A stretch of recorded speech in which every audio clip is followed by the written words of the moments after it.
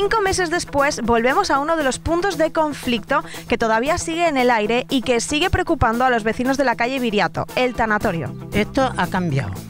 Esto ha cambiado. Yo veo menos gente ahí, al menos yo no siento trabajar, ¿sabes?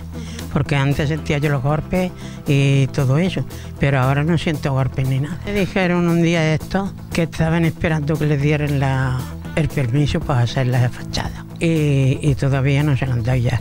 Ya hace más de un mes, casi dos meses que me dijo eso. Pero ya está, dicen que no, que no le van a dar el permiso. Dicen, yo hombre, claro que no quiero. ¿O tú crees que, que yo estar allí, dice, al lado de mi, de mi cabecera hay muertos ahí? La apertura tumbada de nuevo, la empresa no puede inaugurar.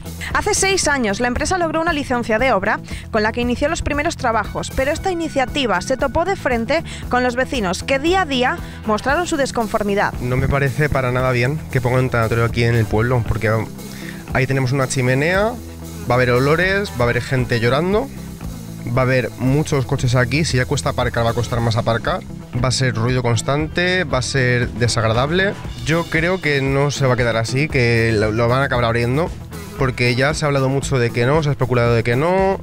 Luego otra vez que sí. Han hecho muchas cosas recientemente, han puesto los vados, han puesto cristaleras nuevas. Son cosas que yo pienso que no pones si no consideras que vas a acabar abriendo. Se supone que los vecinos tenemos la obligación de saber quién está al lado nuestro o quién se va a poner a vivir al lado nuestro. Hombre, lo del tanatorio es que viene ya de mucho lejos. Esto viene ya hace muchos años y, y, bueno, pues eso, al final lo han paralizado. Son obras que son una estupidez hacerlas dentro del pueblo. Sé que hay un juicio pendiente, lógicamente no es normal que hagan un tanatorio aquí y más habiendo otro allá arriba. Pero bueno, esta gente también ha invertido mucho dinero y supongo que querrá sacar lo máximo posible. ¿Cuál ha sido el papel del ayuntamiento? ¿Qué han hecho? Pedirle que haga las obras de fuera, ¿no? Además están muy muy orgullosos de ellos, ¿no? Por haber paralizado esto. Ahora, con la aprobación del Plan Director de Santa Rita, se suspenden todas las autorizaciones de construcción para una nueva ordenación urbanística del barrio, donde los vecinos decidirán qué y cómo quieren reordenarlo.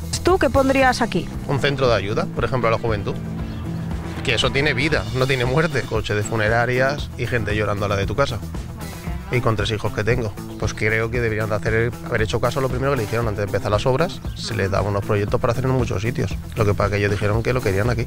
Entonces dentro de un pueblo la verdad es que yo no lo veo bien. Todo aquel que venga aquí al barrio a vivir, pues mira, bienvenido sea, ¿me entiendes o no? Porque estamos para ayudarnos todos. Pero es que, que te ponen un tanatorio, que estés con tus hijos jugando en un parque y que ellos vean coches ahí, gente llorando, gente tal, cuando se puede poner en un polígono que es donde suelen estar. El ayuntamiento yo creo que nos han ayudado, han hecho caso. Es que es un mal para el pueblo, es un mal para el barrio y un mal para todo.